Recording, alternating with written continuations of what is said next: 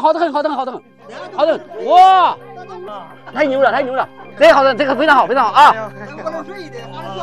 好。湖北云梦县惊现春秋战国墓葬群，墓中不仅出土两千二百年前的精美酒具，还有世界上最早的情侣照。挖掘到一半，突然冒出小型的门窗，从中掏出一份停战协议书。这些东西到底有什么作用？墓主人又会是谁呢？二零二零年三月上旬，位于湖北省孝感市云梦县博物馆里的考古队员接到一通电话，郑家湖附近工地上意外挖出一个大型墓葬群，位置位于。楚王城遗址周围，在之前的考古工作中，楚王城遗址周围挖出了大量的古代墓葬群，出土了大量的一级文物。不仅如此，附近就是出土了大量珍贵秦简的睡虎地墓地，其中的记载让考古学家对秦朝历史有了更多的参考文献。难不成这次的发现也和秦朝的历史有关吗？事不宜迟，专家马上进行了初期的勘探。通过分析洛阳铲带上来的泥土，发现其中含有大量的青高。泥专家立马明白了，洛阳铲渣的地方绝对埋藏着一个古代大型墓葬群。考古队当机立断，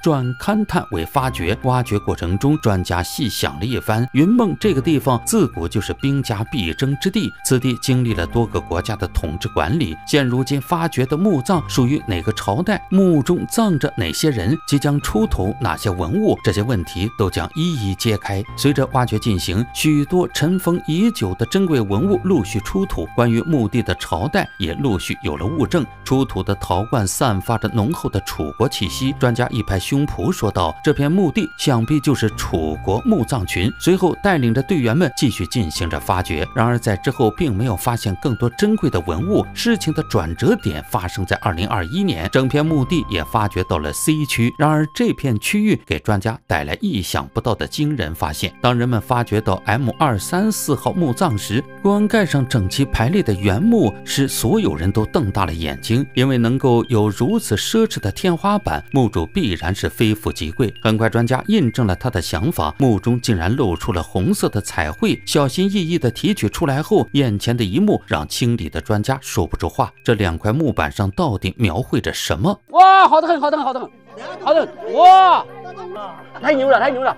这好的，这个非常好，非常好啊！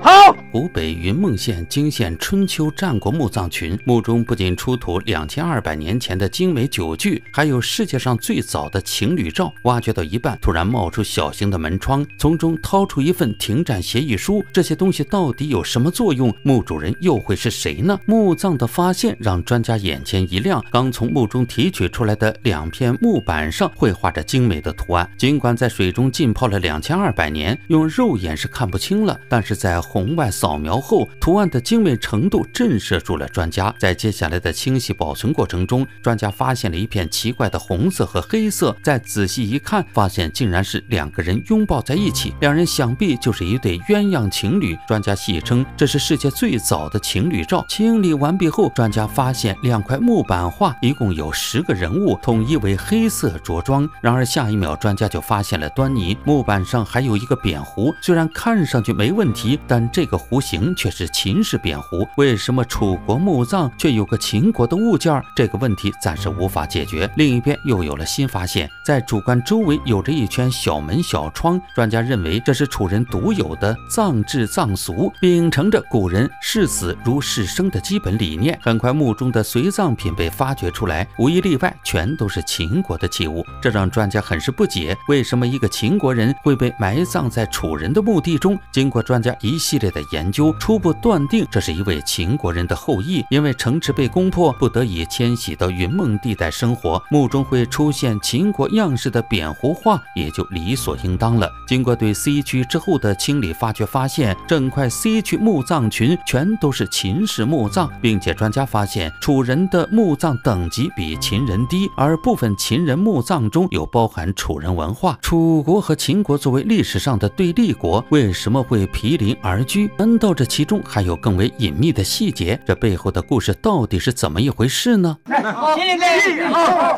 三、一、二、三。一二三，一二三，一二二。